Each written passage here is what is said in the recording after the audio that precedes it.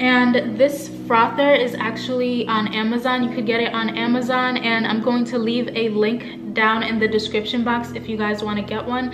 I have been needing a frother for so long so i'm so happy that i finally have one but i'm just going to mix it.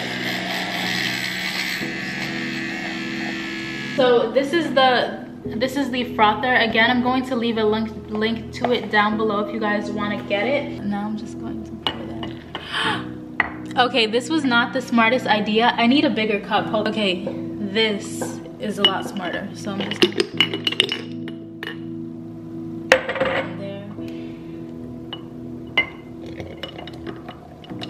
And then I'm gonna put more ice.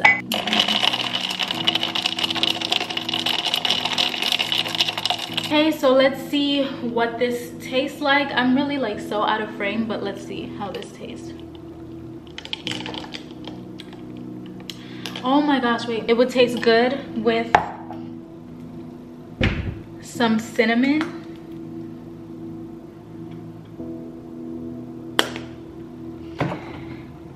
And i'm also gonna put a little bit more brown sugar but it tastes so so good. I'm gonna mix it okay so now i'm just gonna just jump into the video the way i planned hey guys welcome or welcome back to my channel. So today's video is going to be about finances and i'm honestly so excited for this video because this is something that i have been dealing with for a while. So this is going to be the perfect video for you guys if you deal with um, you know just any type of struggle with your finances. And i really hope that this video and the principles that i share throughout this video really help you guys to receive your financial breakthroughs and your miracles that god has truly intended for you to have. Especially as children of god we do not have to be subjected to any type of you know demonic oppression. Like that is not our portion and god has given us the authority and power over all of our enemies. So we do not have to allow ourselves to be like stuck in a place for years and years that god never truly intended for us to be in. So it is today is going to be the day that we take a stand and we take full authority over our finances.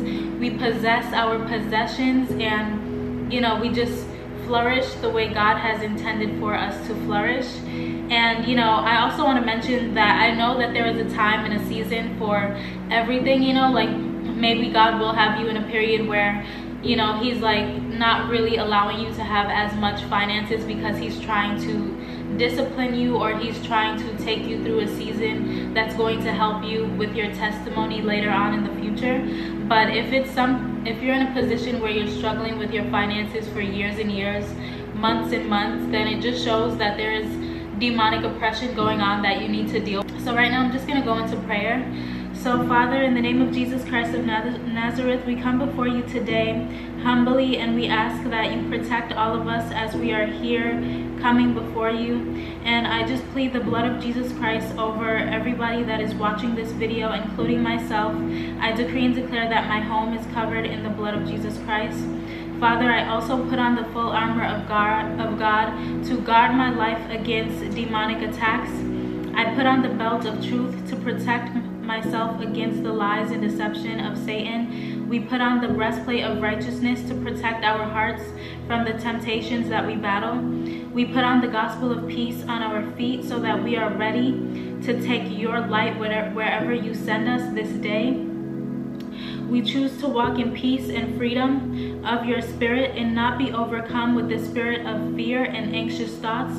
We take up the shield of faith that will extinguish all of the fiery darts and the threats that are hurled our way by the enemy. And we believe in your power, Lord, to protect us and to choose to trust in you. We put on the helmet of salvation, which covers our mind, it covers our thoughts, and it reminds us that we are children of the day, forgiven, set free, saved by grace of Jesus Christ. And we take up the sword of your spirit, your very word, the one offensive weapon given to us for battle, which has the power to demolish strongholds, alive, active, and sharper than any double-edged sword. In Jesus' name I pray, amen. Okay, so I'm, what I'm gonna do first is I'm going to start out with some powerful scriptures that you can use against these demonic attacks. Because remember the the word of God is like a sword in the spirit.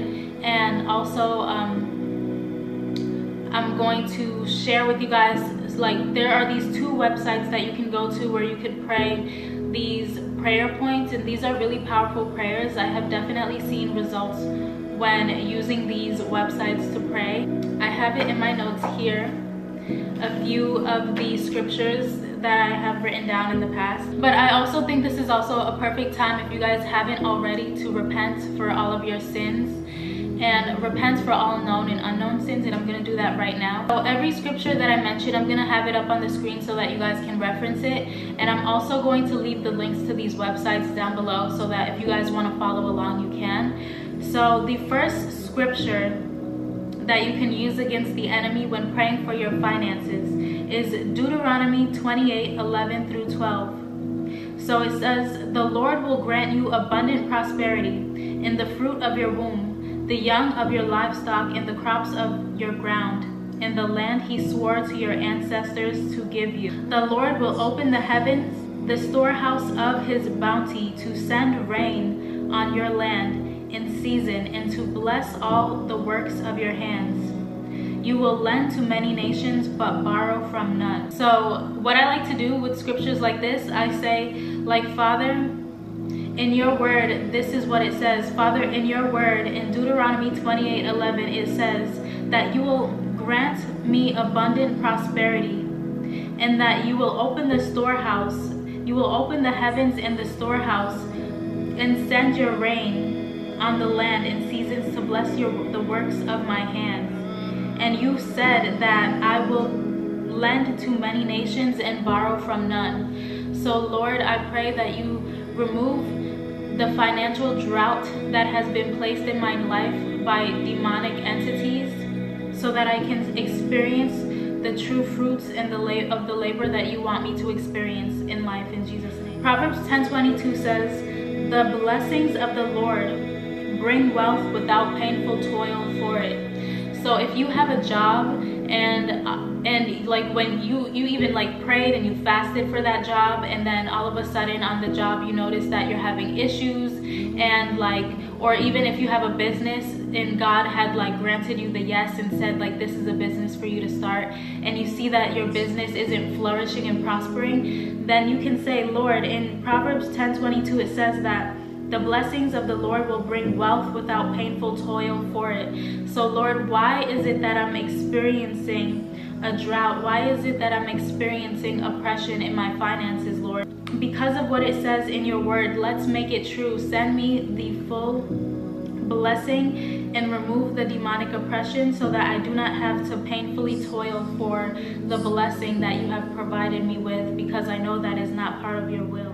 And then in Psalm 145 it says, You open your hand and satisfy the desire of every living thing. The next one is 2 Corinthians 10 11. Now he who supplies seed to the sower and bread for food will also supply and increase your store of seed and will enlarge the harvest of your righteousness. You will be enriched in every way, so that you can be generous on every occasion, and through your generosity will result in thanksgiving to God. So the next scripture is Joel 2 18 through 19. Then the Lord was jealous for his land, and he took pity on his people. The Lord replied to them, I am sending you grain, new wine, and olive oil enough to satisfy you fully. Never again will I make you object of scorn to the nation. Okay, so the next scripture is Genesis 22 14. So Abraham called the place the Lord will provide, and and to this day it is said, On the mountain of the Lord it will be provided. So if you guys know about that scripture with Abraham, I, I definitely think that you guys should also read like the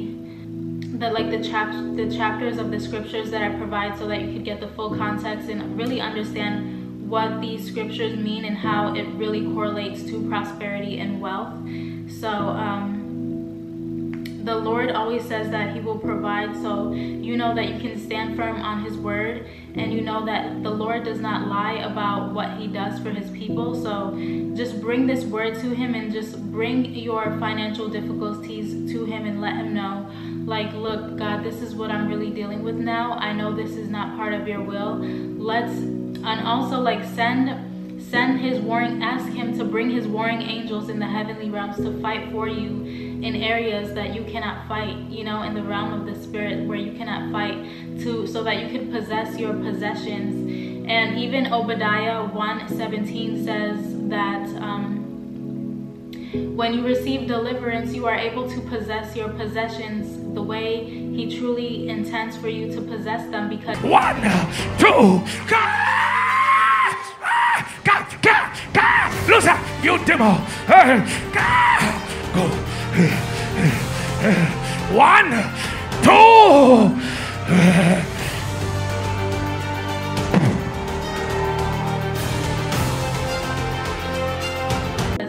When our blessings are coming down from the heavenly realms, demonic entities try to hold up, steal, or delay the blessings that God has for us, and that is not the will of God. And also, if you have open doors of sin in your life, that's also going to be another um, avenue for the devil to use against you. So if you do have open doors of sin, you should really consider, you know, just switching your behavior around so that you don't have to be under demonic oppression because the devil always tries to find like a legal right to enter and, you know, steal what is yours. Also, if you have any like any any ancestral generational curses it's important to pray against those things too because the devil also uses the sins of our ancestors against us to hinder and block the destiny that God has for us. So we have to pray against that as well. So another scripture is Philippians 4:19 and my God will meet all of your needs according to the riches of his glory in Christ Jesus so because of what it says in Philippians 4:19 we know that the Lord will meet all of our needs according to the riches of his glory in Christ Jesus. So that means that there is absolutely no limit on what he provides for us. So in our minds, we may, let's say your rent is like $2,000 and you need that $2,000 for your rent and you ask God for that. That doesn't mean that he's gonna give you $2,000. He could give you way more than that you know jesus is abundant and he has many many many things to give us. And you know he is the king of kings. Like he owns everything. He has more than enough. He has an overflow of blessings. So we do not have to just like in our minds it's like we limit ourselves when we ask for certain things because that's kind of like how we function. But really we could ask for like a, an overflow. We could ask for as as much as we want to ask for without putting a limit on it because god has no limits. So genesis 39 21 says the lord was with him. He showed him kindness and granted him favor in the eyes of the prison warden. So also like when you're facing financial difficulties and you're feeling stuck, just know that God is going to favor you, especially if you have been honoring Him and you have been like praying, you've been fasting, and you've just been doing your best to show God like you, or, or you even have been showing God like, Lord, I am willing to sacrifice so much to show you, look, look at how desperate I am. This is an emergency. I need you to intervene. So another one of my, this one is actually one of my favorite ones, and I think that this is a really, really great one to use. This is Habakkuk 2, 2 through 2 through 3 and it says and the lord answered me and said write the vision and make it plain upon the tables that he may run that readeth it. For the vision is yet for an appointed time but at the end it shall speak and not lie. Though it tarry wait for it because it surely will come. It will not tarry so this right here is just telling you like if you have like um if there are things in your life that you are needing god to answer for you. Literally write it out and bring it before God. Bring it towards to your altar and be like, God, this I am releasing this. I'm fully surrendering myself to you. I'm releasing myself from this problem and I'm fully relying on you to to fully, you know, bring a resolution to this problem for me because without your help, I might not make it.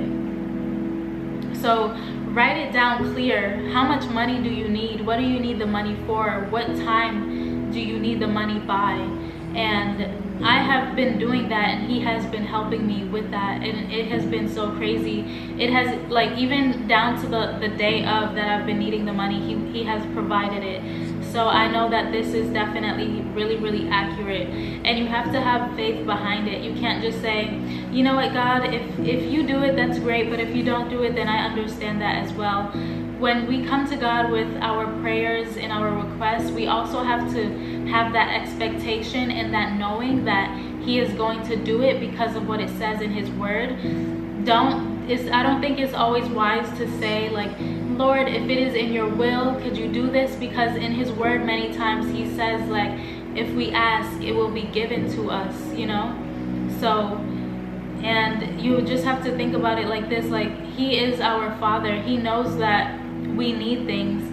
And God, He loves to provide for us. He loves to surprise us and, you know, shock us when He provides us with our blessing. So don't be scared to ask Him and don't be scared to expect it from Him because that's kind of the point. That's what He wants you to do. He wants you to ask and He wants you to fully believe and expect that He's going to provide you with whatever it is that you're asking for. So don't don't limit him and say like, well, if it is your will, because of course it's his will for us to prosper financially it's the devil i really believe that you know like financial hindrance and poverty and everything is is from the devil that is demonic and that is not the will of the father for us to be you know struggling to pay for anything. The devil wants to limit us in our finances so that we aren't able to do much because you know in life we need money for everything like literally everything we need money for. So that of course the devil is going to want christians to be suppressed and oppressed and not have you know enough money because when we have money we also could help other people with things that they're needing as well. So of course the devil wants us to just have like just enough for what we need. So like if someone is needing something we can't even help them with it. But that can change so I, I have a lot more scriptures. I'm not too sure if I'm gonna share all of them. Um, okay, well, I think what I'm gonna do is I'm going to, I'm not gonna read all of them, but I'm going to list out the scriptures and then you guys can write them down and you could look for them during your own time and you could read them. So the next one is Romans 8, 28. The next one is Malachi 3.10. The next one is Joel chapter 2, verses 24 to 25, Matthew 13, 8, Deuteronomy 28, 6, Deuteronomy 28, 2, 2 Corinthians 9, 8, Deuteronomy 8, 18, Deuteronomy 15, 6, and Proverbs 20, 22, 7. So before I show you guys the websites of the scripture, the, um, the prayer points, I also wanted to mention um, a foundational biblical principle that I definitely know can help as well with um, uh, financial burdens and financial struggles.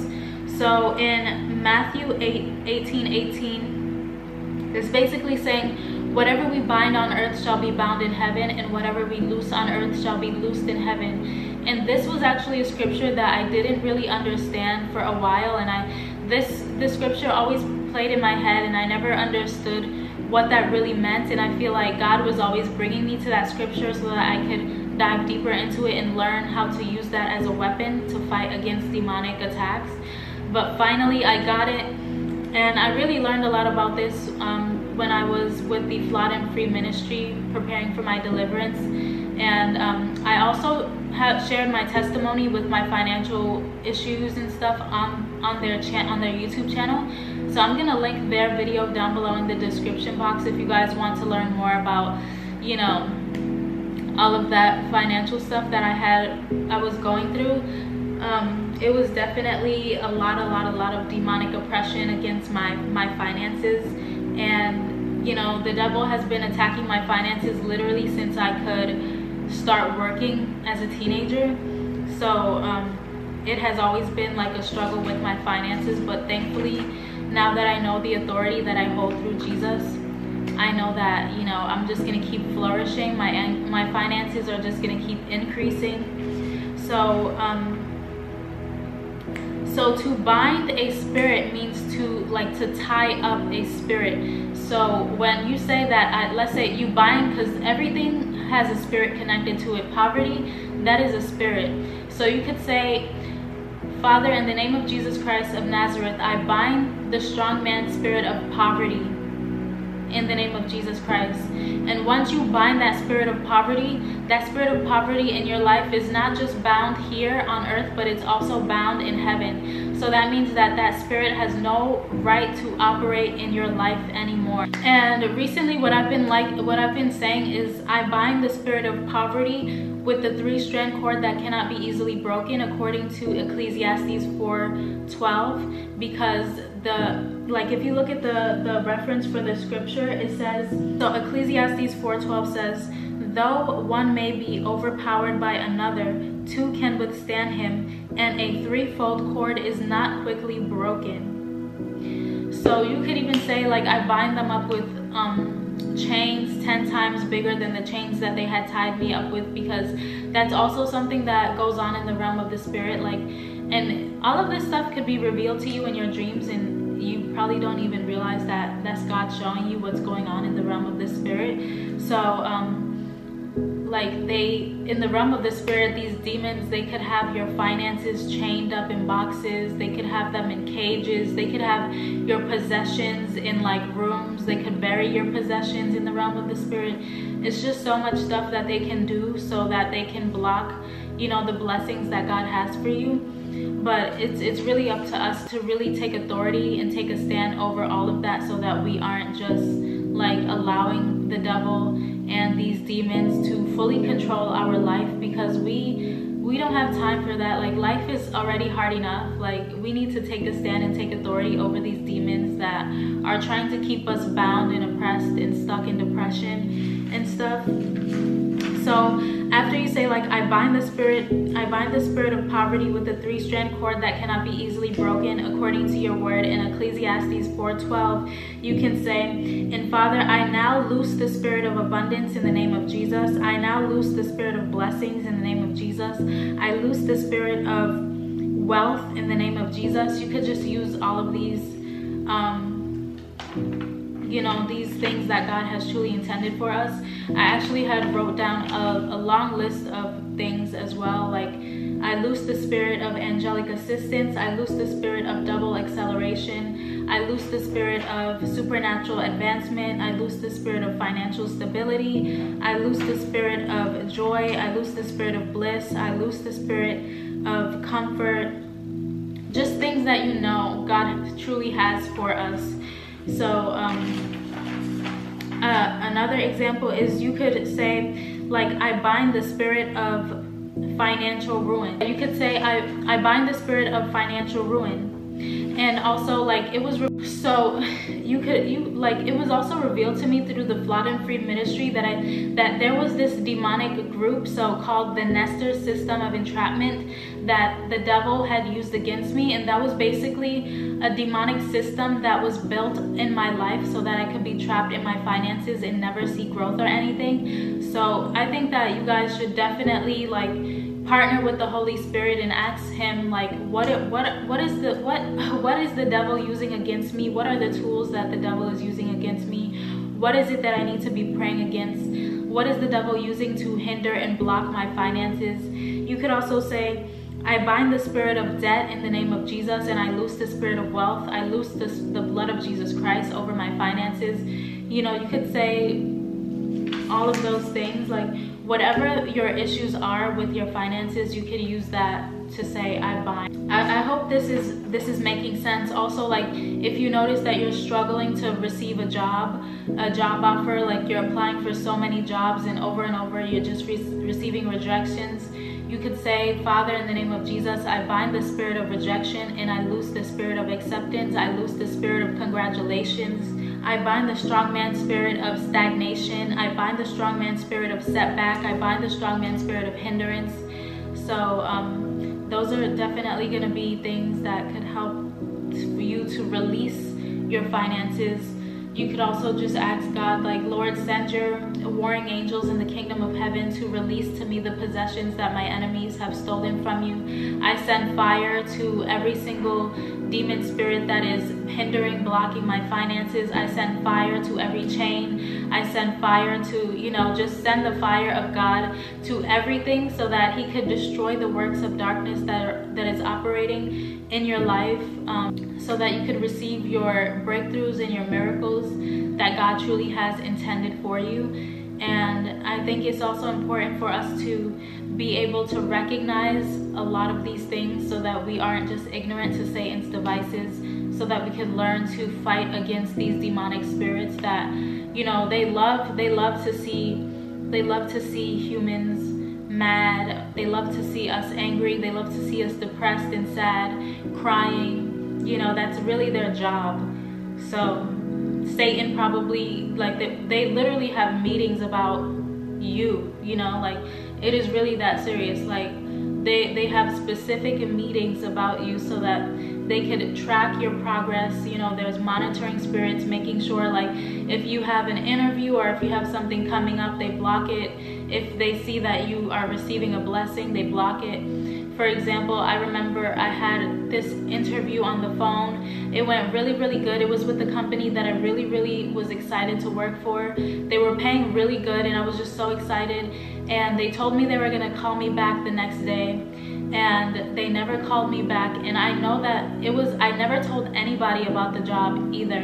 I didn't tell anybody about the interview or how anything happened because i was just so used to receiving disappointments and setbacks and i thought like if i tell somebody maybe they're gonna like be jealous behind the scenes and try to like speak bad against it so i was just like i'm not gonna tell anybody about this and the next day came no phone call or anything. So a lot of these things could be um, monitoring spirits and familiar spirits that come along with the spirit of witchcraft to um, hinder and just block your blessings from you. So now I'm just gonna go to the websites. So the first website, so the first website I want to share with you guys is iBlog Gospel, and the title of this is Prayers Against Financial Attacks. And I'm just gonna read the first few so that you guys can see um, what it what it's like. So it says, "Thank you, Father, for the financial breakthrough and provision you have made available to me. Thank you, Lord, for I know that it is your will that I prosper financially. Father, from your word." Father, from your word that you are rich and I am not supposed to be poor. Therefore, let every attack of darkness against my finances be shattered in the mighty name of Jesus Christ. Let the fire of God locate every hand of darkness that is withholding my finances. Let them release my finances now in the mighty name of Jesus Christ. I frustrate and I abort the assignment of every of every agent of darkness assigned against my finances in the mighty name of Jesus. By the authority of Jesus Christ, I seize back my finances which the enemy has stolen from me in the mighty name of Jesus Christ. I destroy every dream attack of darkness against my finances in the mighty name of Jesus. And the next website, this website has um, 38 prayer points. This one is definitely a lot longer, but this one is warfare prayers for financial breakthrough. And this one, it says, I come against every satanic power, demonic spirits, principalities, powers, rulers of the evil world, all wicked spirits in high places, unfamiliar spirits, spirits of poverty, and the rest alike. Every spirit above and below them, in fact, every spirit that is not of God that has risen to stop me from having financial success, and I begin to release myself from their evil grip right now in the mighty name of Jesus Christ. Amen. I stand upon the authority of the heavenly Trinity and I command every satanic grip on my finances to be loosed right now in Jesus' name. Every unfamiliar spirit and anyone that is not of God that is holding my finances, my income, and my possessions, I decree that this, this day you let go of what belongs to me in Jesus' name. In the name of Jesus, every plan and device of my foes to divert my wealth and possessions through sickness, sudden death, accidents, financial emergencies, or any other means, I destroy them right now by fire in the name of Jesus. So that's just a few of the prayers, and these are really really good prayers. And if you guys want to find more prayers like this, all you have to do is put in like prayers against um, prayers against financial attacks. That's how I found a lot of these prayers. So this definitely is something that you guys can use and also and also pray against this the spirit of witchcraft and the spirit of Jezebel and the spirit of Python. The spirit of Python is definitely a spirit that also just sucks up all that you have. Like let's say you you can make like let's say you make like six thousand dollars a month, but somehow it's like your finances are just running through your hands like water, and it's like every time you receive extra money that money has to go towards something else that that definitely shows that there is demonic spirits hindering or you know messing with your finances so definitely pray about it and you will definitely see results. Even to make this more powerful reading and doing these prayers you should pray i would say at midnight between 12 or even just like between 12 and 6 a.m because those those are the times that the the demonic realm is like most active. So i think praying at that time you definitely would see a lot a lot of things move because even like when you read the bible and stuff a lot of the finance not the financial miracles but a lot of the miracles that occurred happened during the early morning hours when they prayed. So i definitely think that praying during the early morning hours is going to show you know great results in your prayer. And you could also couple that in with fasting. So you could hear from the holy spirit a lot more so that you could also show the holy spirit like this is an emergency. I am needing you to come through for me. So um, that's basically everything that i wanted to share in this video. I really hope that you guys enjoyed and that you learned something from it. So thank you guys so much for watching and i'll see you guys in my next video